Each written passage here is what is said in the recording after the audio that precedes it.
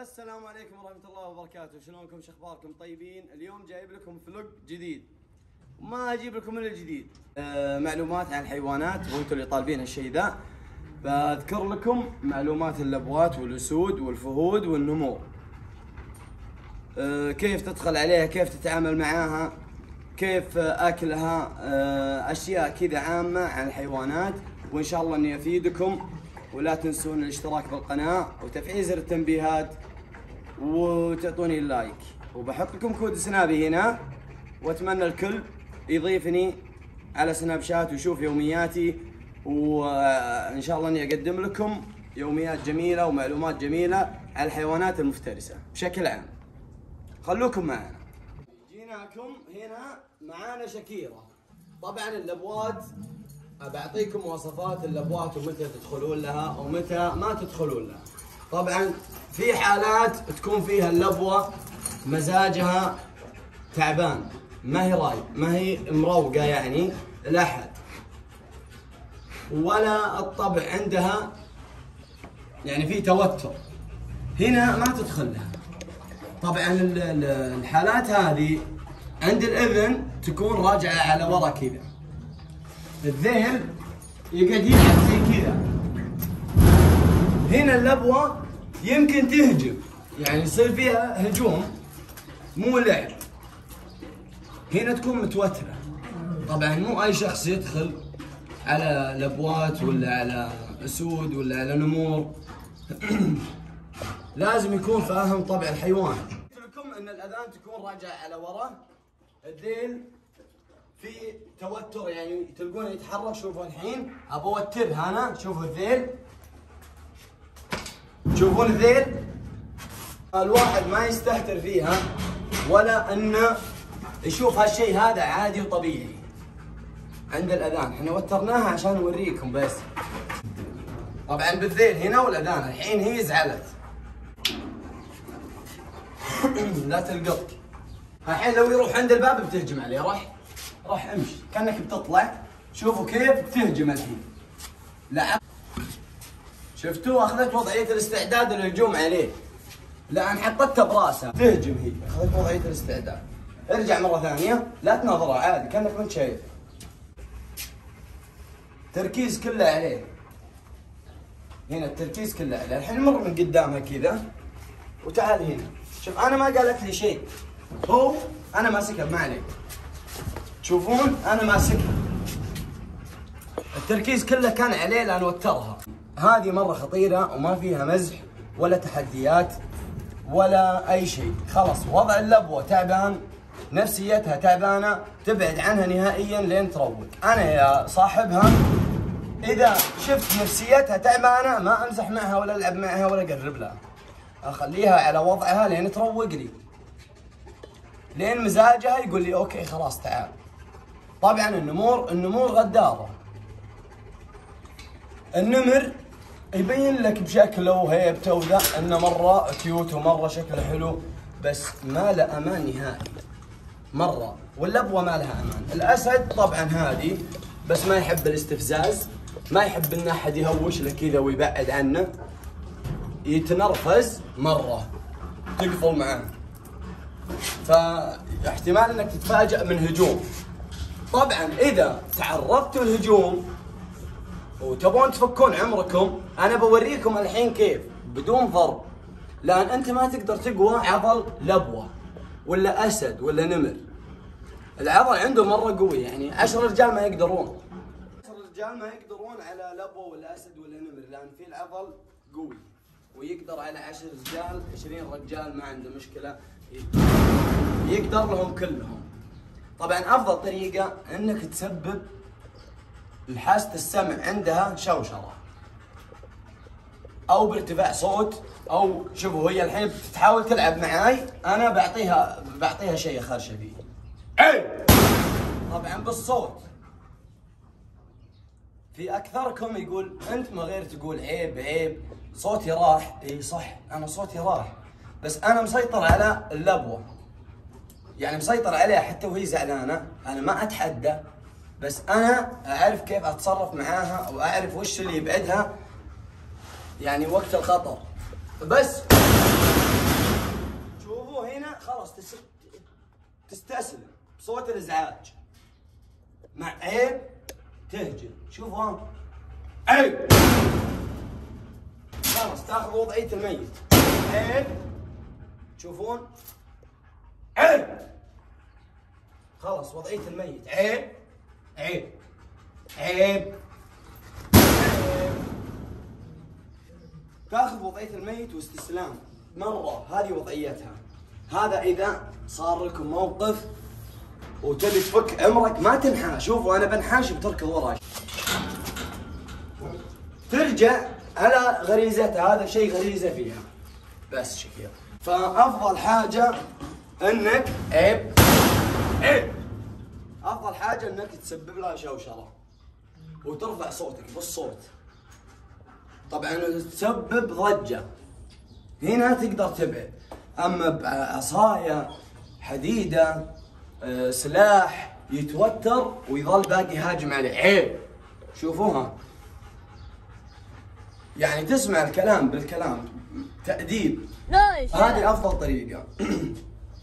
وبالنسبة للأكل طبعا الأسد يأكل أكثر من اللبوه أنا بالنسبة لي أعطيها ست دجاجات. يعني معبيها.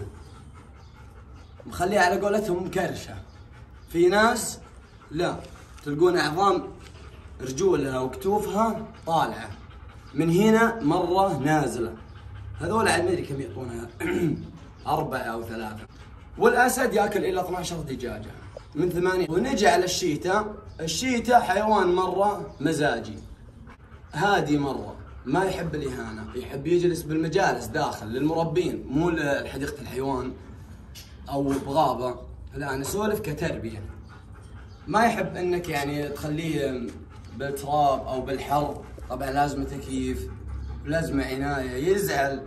الضرب ذا يخرب طبعه. يصير يبدأ يكخ يقلب آه، شراني ولا مرة هو قطوة. يعني نفسه نفس القطوة. وهادي مرة. وما ياكل كثير ياكل ثلاث دجاجات. أو دجاجتين بعضهم يعطون مدة الحمل ثلاث شهور. عند ال- النمور والأسود والشيتا. أول إنتاج لها يجي إنتاج واحد. بعدها تبدأ عاد آه، من ناحية اللبوات والأسود والنمور تبدأ من اثنين ثلاثة أربعة. الشيتا آه، نفس الحكاية واحد هو اثنين. بعدها عاد تبدأ ستة إلى تسعة إلى خمسة أربعة حسب. طبعا الشيتا ما أنتجت عندنا بالسعودية نهائيا ولا عند أي مخلوق. عندنا هنا بالسعودية ما أنتجت نهائي. كل المربين حاولوا وهيئوا لها أجواء الغابة وذا بس سبحان الله ما أنتجت عندنا.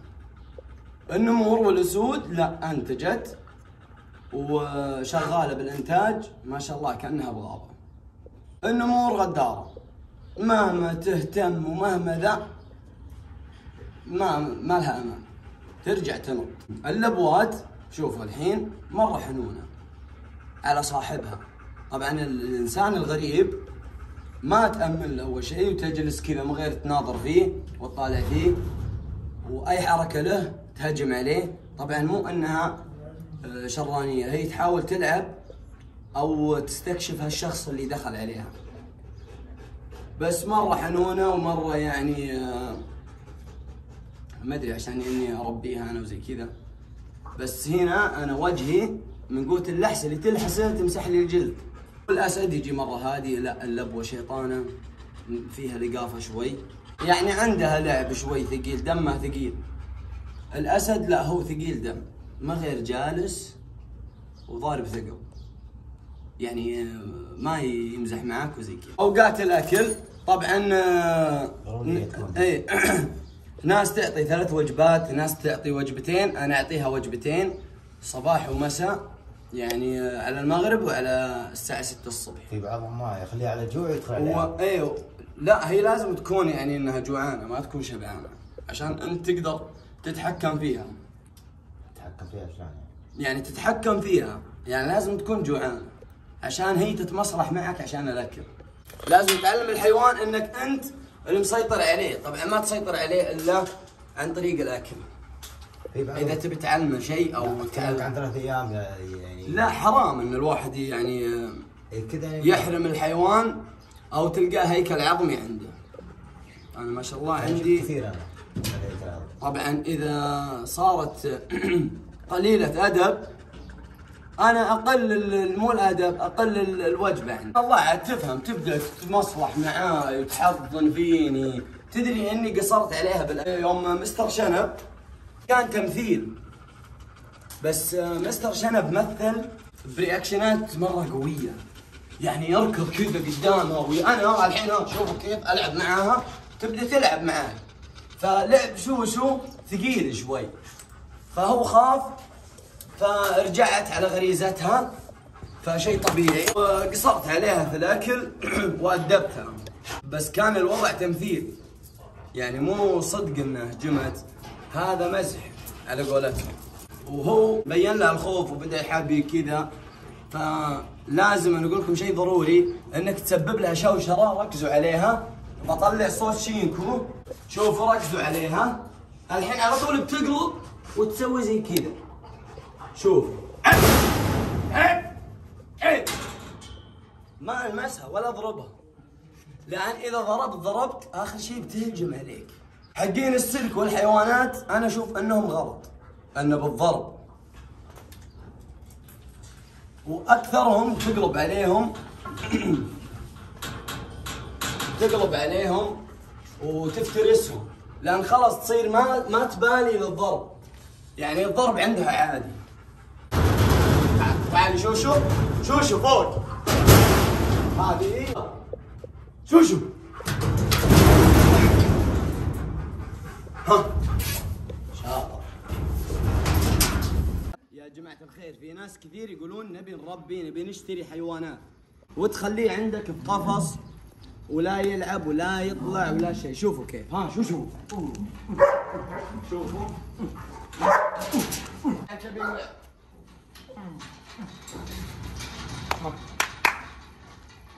يبون يطلعون. ومو اي شخص إنه يشتري حيوان مفترس ويخليه عنده في بيت. طبعا البيت ما ينفع له مرة. هذه كانت عندي. يوم كان عمرها 17 يوم. أو 22 يوم. يعني كانت ترضع خليتها إلى شهرين. بعدها ما أقدر. عندي لأن نفس الطفل هي تبدأ أسنانها تحكها وتبي عضاضه حقت الأطفال يقعدون يعضضون فيها الأطفال نفس الوضع. فتبدأ تقطع الدنيا. مرة خليتها في الملحق وطلعت أنا وأخوي. رجعت لقيت الدنيا كلها خربانة. كل شيء. فصعب إنك تربيه لازم مكان ولازم عناية ولازم اهتمام. يقول بكرة بتكبر وتاكله أبد بالعافية عليها أنا. لأن مستحيل تسوي الشيء ذا. وأتمنى عاد أن عجبكم المقطع ولا تنسون الاشتراك بالقناة وتفعيل زر التنبيهات و like. ويومياتي بحط لكم كود سنابي. تعالوا شوفوا يومياتي. حب وغرام أنا وياهم. والسلام عليكم ورحمة الله.